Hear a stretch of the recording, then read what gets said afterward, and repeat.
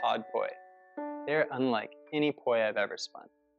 They're the best thing to happen to my poi spinning since poi spinning. I mean, I learned orbitals because of these after 13 years. They spin for ages. They're streamlined. The weight is concentrated at the tip for optimum handling, and they're firm yet cushy.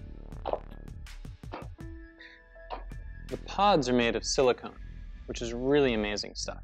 It's super strong, yet soft and clear. It doesn't degrade or yellow, and it's totally non-toxic.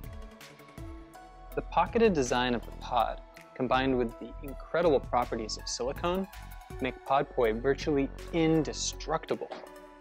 I actually tried to break them once, and I couldn't. And even if I could, they'd be covered under our lifetime warranty. Check this out. Micro USB for charging. With USB power available practically everywhere, keeping your pod poi ready to go is as easy as charging your phone. Plus, they can last all night. We put a huge amount of effort into the design of the interface and the modes. It's simple and intuitive, and yet there's many modes, and they're all adjustable.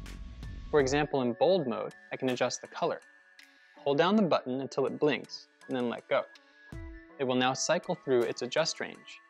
When I see a color I like, I press the button to select it. In more detailed modes like water or fire, the whole color palette will adjust.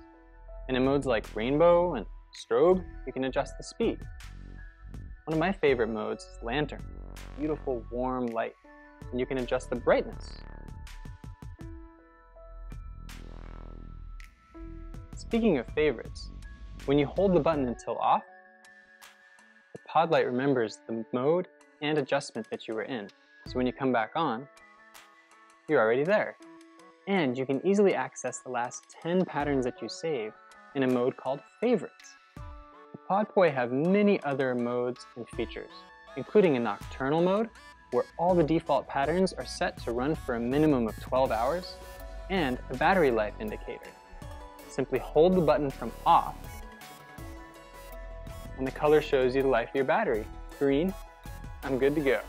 You ever notice how some light patterns can be really flashy and annoying when you're not actually spinning them? Well, check this out.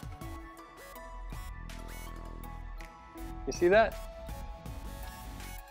Podpoi have kinetic awareness, so they don't go all flashy unless you're actually spinning.